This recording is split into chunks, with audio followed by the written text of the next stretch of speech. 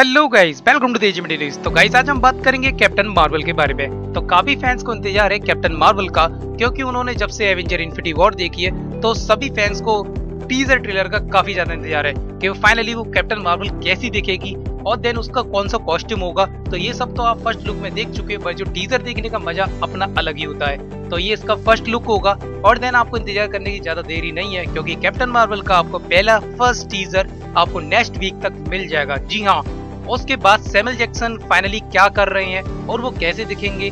Then उसके बाद काफ़ी सारी चीज़ें हैं। और ये है वो आर्टिकल जिसमें कि साफ़ साफ़ लिखा है कि कैप्टन मार्वल का टीजर पूरा एडिट हो चुका है।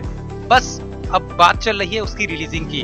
फाइनली कैप्टन मार्वल का टीजर पहले ही रिलीज़ हो जाता इस आर्टिकल के हिसाब से बट इसे ड्रॉप कर दिया गया नेक्स्ट वीक तक। यानी कि हमें पहले ही टीजर इसका दिख जाता।